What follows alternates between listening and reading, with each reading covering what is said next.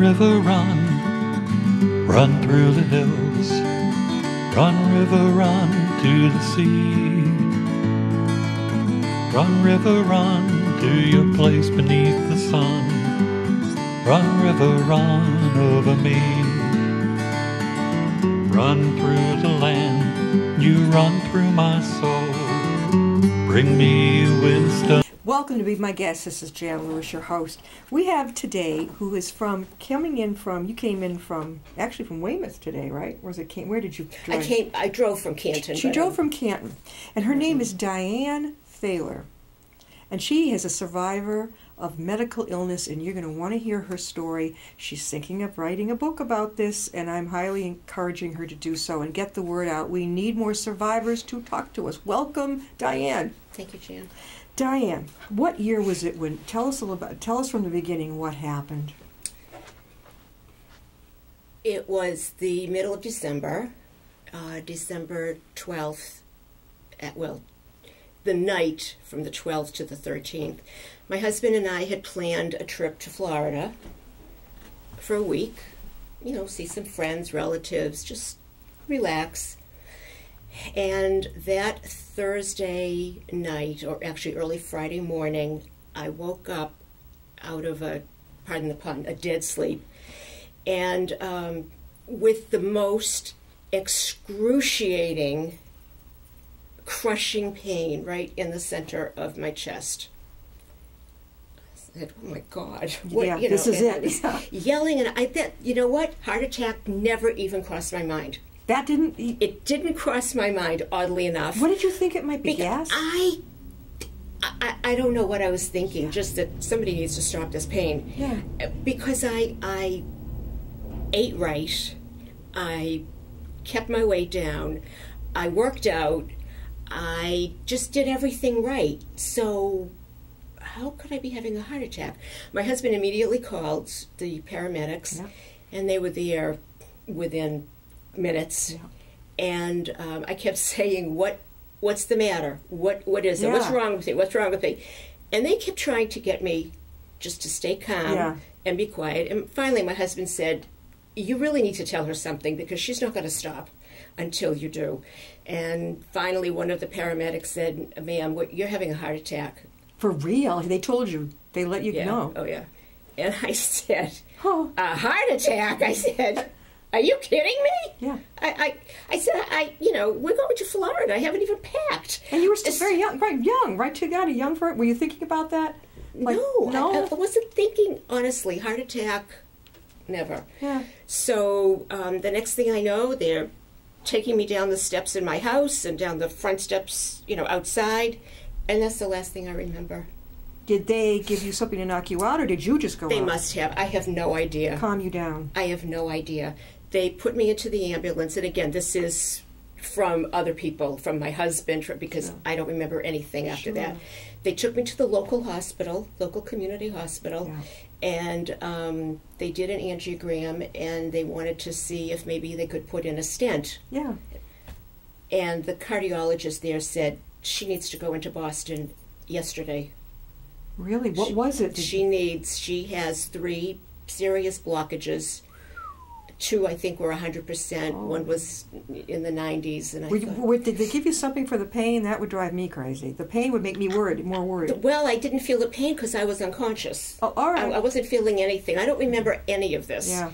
And, and so, in fact, they were going to med flight me Yeah. into Boston, but it was too foggy. Yeah. So by the time all the tests were done and by the time they made all the arrangements, it was rush hour. Mm. So there they are in an ambulance trying to get up the expressway. Yeah. Um, and the only I, I, the only reason that I survived that long is because they did put in a balloon pump. So um, yeah, it, it was. Uh, and my husband, my husband got there before they did because he took all he took a lot of back roads. Um, they got there. The the um, heart surgeon was waiting, and um, he did a triple bypass on me, and um, Just like that. just like that. There was no don't eat in the morning and come back again. Oh no! Oh no! No! That was no! it. Oh no! What hospital did they take you to? St. Elizabeth's. St. Elizabeth's, and you said that's in Cambridge or in Brighton? in Brighton. Brighton. In Brighton, I, I would have died. I would have died if they hadn't operated on me right then. So you there. wake up after this, and you're thinking, Well, I knew where I was because they kept asking me, yeah, who are you? Who's the president? "Who's the president? what year is it? What, what you know? Where are you?" Mhm. I said, "I'm at St. Elizabeth's Hospital in Brighton." Somebody must have told me that, you know, at some point. Again, a lot of it is fuzzy those first few days, and um, in fact, one one of the nurses said to me, "Okay, what um, what month is it?" You couldn't remember, I couldn't remember. but you got everything else okay. And she said, "What? Um, well, what holiday is coming up?" sure. And I said, um, "Memorial Day." Oh, you're way off. And she said, "No, no, Mhm. it's it's December. Mm. See?" And she showed me her watch, and I said, "You're lying." You didn't. I did. oh, she probably is used to that. I did. Yeah. And I, oh yeah, I said things that I never thought I would hear coming out of my mouth. yeah, I know. And for a few days, it was touch and go. It was touch and go. And my family kept asking the doctor, and he said, We just don't know. We just don't But what did he tell you to keep your spirits up? He didn't tell me anything. I, I wasn't, I don't think I was in, I wasn't lucid enough. You weren't to- worried. You weren't worrying. Okay. No, in fact, my daughter said, well, she was there when when they woke me up Yeah. from the anesthesia, and and the heart surgeon was right there, and she said the look on your face Like when you saw this stranger Yeah. was one of sheer panic. Mhm. You know, like Mm. where am I? What am I doing here? Who is this Yeah. strange man? Of course. And yeah, I was just kind of in and out, in and out for a few days. And when you came to, then When I came to, um, I realized what had happened. You know, they told me what had happened and how I had beaten incredible odds because this type of heart attack is what they call the widowmaker or the widower in your case. or the widower maker. yeah. because 95% of the people who have this type of heart attack don't wake up. They just die in their sleep. My God, girl. So I was one of the lucky 5% that woke up. Well, the pain probably woke you And up, then you know. Yeah. Luckily. Yeah, luckily. Luckily. And then he said, and, and then they have a 50 50 chance of surviving the surgery. And I had doctors, the heart surgeon, my cardiologist, the vascular surgeon have all said to me one time or another, um, "Uh, we didn't think you were going to make it. that must make you feel really good. Well, it does. Yeah. It does. I Yeah. well, I showed you, didn't I? yeah. You didn't know me then. Your husband must have been in a state of absolute despair. Oh my God. He was. What about your children? You have children? I have two children. Yeah, They're, well, they're grown. They have their own children. sure. And, um, yeah. I bet he was on the phone with them a lot. Oh, yeah. So you Yeah, finally, how many, and- when did you leave St. Elizabeth's? When did they finally spring you to get out? Oh, I was there a long time. I was there for seven weeks. Oh, wow.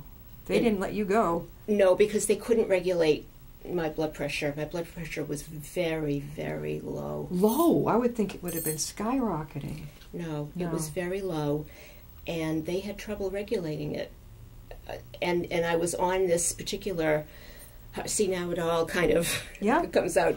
Um, I was on a particular heart medication that not a lot of people had heard about, Mhm. and it was it was a um, constant IV, Mm-hmm. and they tried to wean me off it by cutting the Oh. dose by half Yeah. every few days, yeah. and they only got down to a certain level, and then when they tried to decrease it, Mm. My system wouldn't tolerate that that modification. So that's why. I mean, I you know everybody kept saying, "How come she's in intensive care for so long?" Because you hear a heart attack, they're in intensive care for four or five days, then maybe they go to a transitional unit and then they go home. Mm-hmm. But oh no, I, you know, not me. So I was there for a long time. Were you nervous about And- going home? Some heart patients are really leery. Well, I didn't go. I didn't go home right then. hmm I went to. I had to go to a rehab facility. Um, and you heard me mention vascular surgeon. Yeah. Vascular surgeon had to get involved because during the surgery, and it was it was partly the balloon pump, Mhm. which which was um, whose function it was to keep the blood flowing to my major organs hmm to keep me alive, um, was not able to get the blood all the way down Bite your legs. to my feet. Right. So, it, so that plus tiny blood clots that were breaking off were also migrating to my feet. As a result, I developed what is called dry gangrene. I know it's you couldn't write this stuff, but I will. Oh, I yes. will, I'm going to. Well, did, Um, did they have your legs in those balloon things that, that breathe for your legs? No, for pressure? No. No. And um, so within a very short amount of time, the tissue just died In your leg. in my Yeah. feet. Yep, in your feet. My feet and probably up to up to the edge of my ankle. And they had to take off most of your leg. They did well from maybe half what the shin. Yep. Shin. shin down. Yep. Fortunately, it was below my knees. Mhm. For both legs. Both legs, both legs. This I mean, they were. You could, you know, you couldn't. You could bang them together, and they yeah, yeah. And you did you when you woke up? You knew this was going to happen, right? shortly thereafter. Yeah. Shortly thereafter, and. I remember thinking, okay, um, all right, I, I will deal with it. I'll do whatever I have to do. Um, I, the technology is out there, but I, I'm not going to be an invalid. That was the first thing that came to my Mhm. mind. I will not be an invalid. So you decided to have them fit me to the prosthesis. I decided right then and there, and, and this was this. You know, there were so many other things I had to overcome Yeah. before we could even think about that. Yeah. But You were determined. I was determined. See, that's a survivor right there. We are talking with Diane Thaler, and Diane is a survivor of a very serious heart situation, the surgery, plus she had part of her legs, both of them were removed. And most people, if they're going to have an amputation, it's usually one leg, right? But Yes, both? yes, Both. Yeah, you see very few bilateral. Diane, how how long did it take before you could get fitted for your prosthesis? I had my first leg surgery. Still hard to say the word. It is. yeah. Had my first leg surgery in April, and I got it was the right leg. This is Betty. I named them Betty and Betty and Veronica. Okay. For those people out there who are old enough to know who Betty and Veronica are, Who are they? they, they're the, okay. They're the um, the girls in the Archie comics. Okay, I didn't read comics. Oh, okay. Okay, that Okay. explains why I didn't know. Okay, That's okay. I only know the word That's right. Archie, but I don't know. Okay, Okay. Some people out there will, will know. Yeah. Um, and I don't know why. I, I decided I was going to name them, and I don't know why it just, Betty and Veronica just came right out of my mouth. yeah, And people thought it was really funny. I But think guess it's cool. It was a coping mechanism. Sure. You know, they Yeah. were my friends. Mhm. They were going to become a part of me, so Mm-hmm. why not name them? Was it hard to learn to walk on with them? Not as hard as I thought it would be. Yeah, like stilts. Um, I guess. I guess it's sort of like, it's kind of like wearing boots all the time. Like boots. Yeah. Yeah, but I got the first one in um, end of July, beginning of August. Wow, you from the span of what December that you went down with that heart attack to now we're in August. A lot of a lot of Surgeries, of surgeries, physical therapy, lo- uh, near death. near death, near death, and then I got the second one end of September. So you, you had one leg and then the other one. Okay, so you got the and then the different other one. Yeah, there was a lot of controversy, excuse me, about whether I should have them both done Mhm. at the same time Mhm. or one and then the other. And I went back and forth and back and forth. I would think both because do you have to learn to walk with one and then then after that goes by? Well, the plan was to get one and then have the surgery on the other one. Yeah. But there was a little complication developing. Um, the doctors thought that it, um, the area might be getting infected, Okay. and they said we need we Not need good. to move this up. We can't wait. yeah. Uh, so so that's why that's why it was kind of How, meanwhile, how is your family doing with all this news? oh They probably have. A, they're thrilled you're alive. B, they're going to know you have two prostheses for legs, right? I'm not. Um, I don't know if I'll ever really know. I. Except my son, my son um, is not that demonstrative. Yeah. He held a lot of the time. I think he held a lot of it in. hmm How about your husband? Was he more vocal? I think he was just trying To be upbeat, upbeat. to be uh, to be supportive and strong. He was. I couldn't have done it without him. I just, I couldn't have. I mean, he was coming from. He was working in Weymouth, hmm so he would come. He doesn't work on Wednesdays, so he would come on Wednesday to Spalding in Cambridge Right. and spend most of the day until I threw him out. Yeah. I "Oh, go home, because that what a He didn't. He didn't. He could have stayed overnight though. Nowadays they let you stay. yeah, but, But you thought it was too much for him. No, I, I and Yeah. then so he would drive back home to Stoughton, Yeah. And then um, and then Saturday he would come um, sometimes later in the afternoon, and then he'd come back on Sunday, What a good guy. and he'd bring me cantaloupe, and he because he knew I had to, you know, I had to keep up the um, potassium. And did you have anything to keep your hands busy, like puzzles or coloring? Oh, absolutely. Oh, yeah. Oh, puzzle. Do yeah, you do the coloring at all? Yeah, I love it. I'm going to. I, in fact, I was in Barnes and Noble the other day, and I saw them. Get them. I do that. It's a great way to unwind. That's what they say. Yes, it is. That's what they say.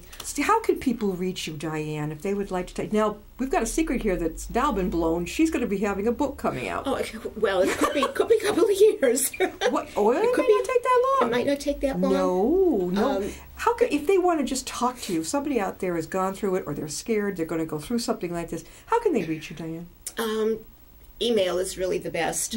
Um, D G Thaler T H A L E R at Comcast.net. And you'd be willing to to share with them some support. Absolutely, absolutely, because no one, people can be supportive, and they can, you know, they can say, "What can I do for you? Yes. How can I help you?" But someone who has been through the experience can eh, can be more more credible, Mm-hmm. you know, and not just saying what you think this person wants to hear. Yeah, exactly. You're the person, you're the go to person. And I was encouraging Diane to get out and do presentations because people who want to hear this, maybe somebody who comes to wherever she speaks, is like really biting their nails because they've had a similar diagnosis, maybe a similar operation, perhaps something, and they want to hear it from somebody. I know I'm like that. I want to hear who went through it, you know. And you are so beautifully vocal about it. Um, what would you title your book? I don't want anybody to take it.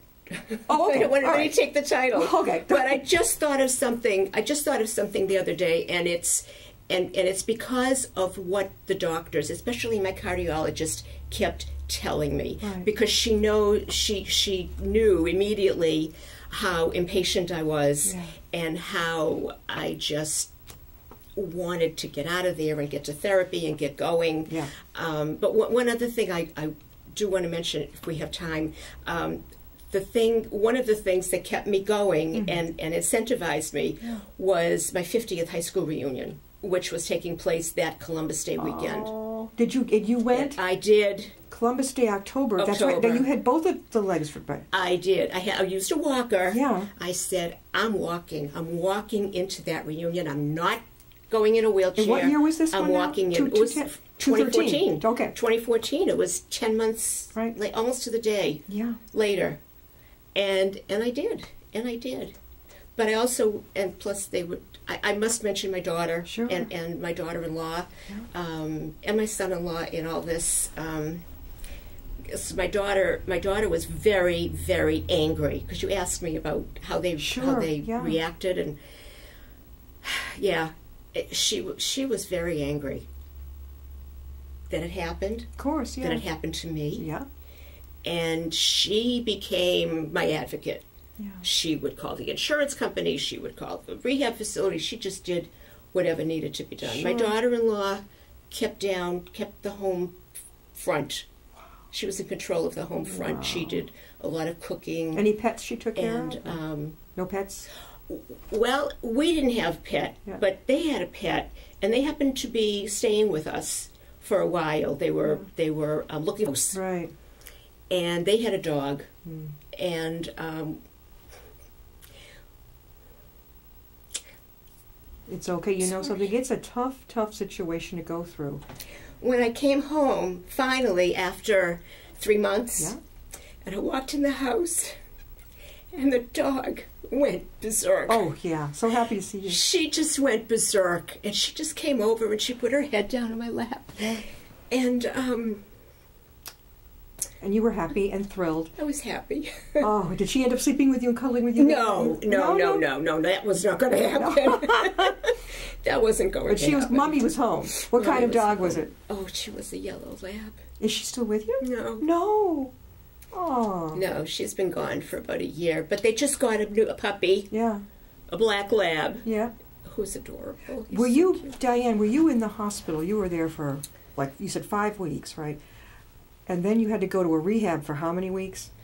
I was there about oh five. I was in the hospital. I think well, like seven. Yeah. Rehab about five. Oh, that's like twelve weeks. Yeah. We're talking about what? Yeah. Two months. I I came home through. I came home the middle the middle of March. Did you have to? Some people hate this. Did you have to? Were you in the hospital during your birthday at all? Um, I was, I was, I was at Spalding. I was after it was after the first amputation. In in the It middle, like February, birthday. in January? No, no. I'm sorry, the second, the second amputation. It was in July. July, It was the end of July, and that was your birthday. and I didn't tell any, uh, but I didn't tell them, and they were the nurses. They were really, they were really angry at me. They were Did they really finally? Did they bring in a cake with a little They bit? did. I'm sure. They did because, unbeknownst to me, where was I? I must have been in physical therapy. And when I came back, my daughter was waiting in my room. Um, but I didn't know she was coming. And as we went by the nursing station, they Yeah. all said, "How come you didn't tell me? Uh huh. How come you didn't tell us?" hmm 'Cause And I- they made it up, didn't they? They yeah, did. yeah, Yeah. they did. I was there three times.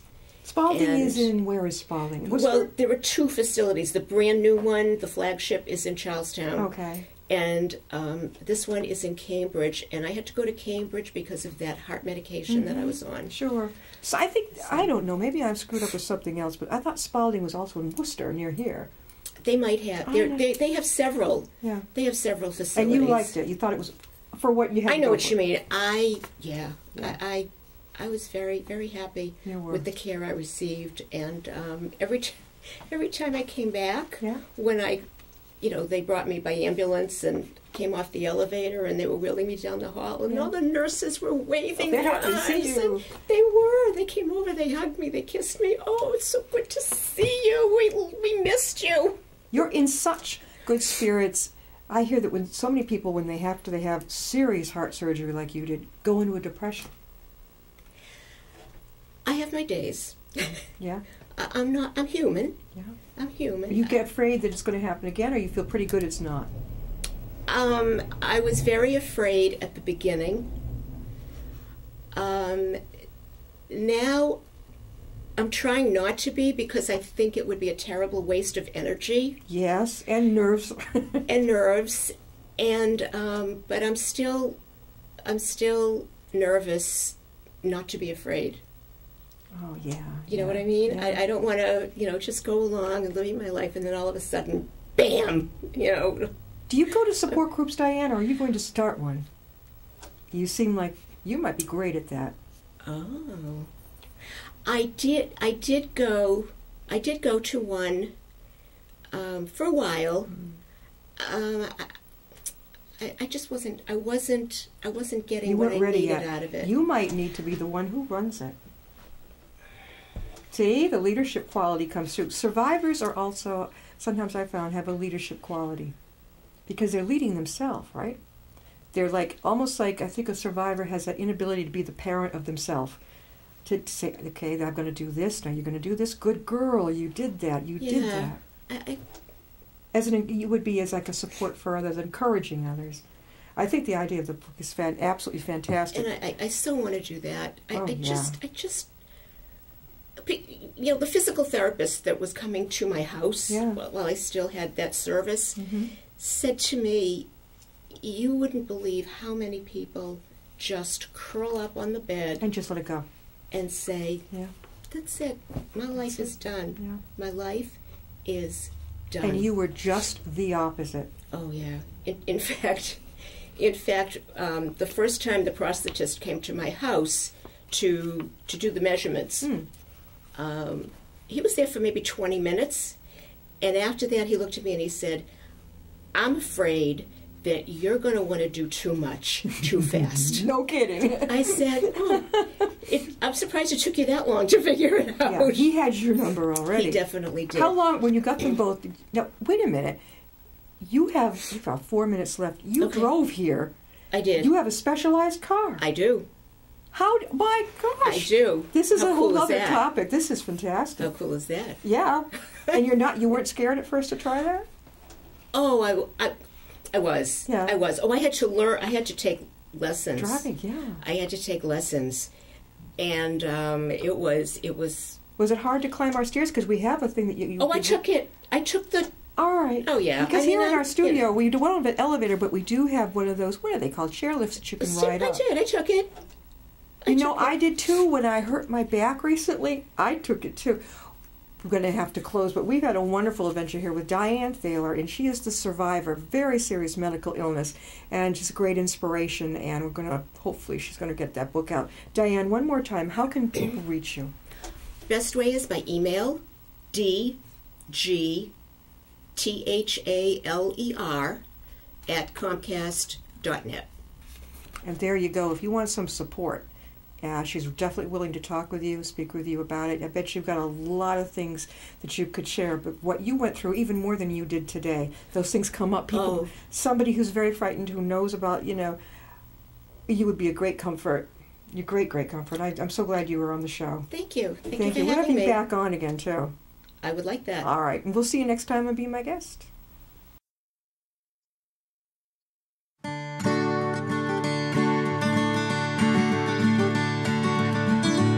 River, run, run through the hills. Run, river, run to the sea. Run, river, run to your place beneath the sun. Run, river, run over me. Run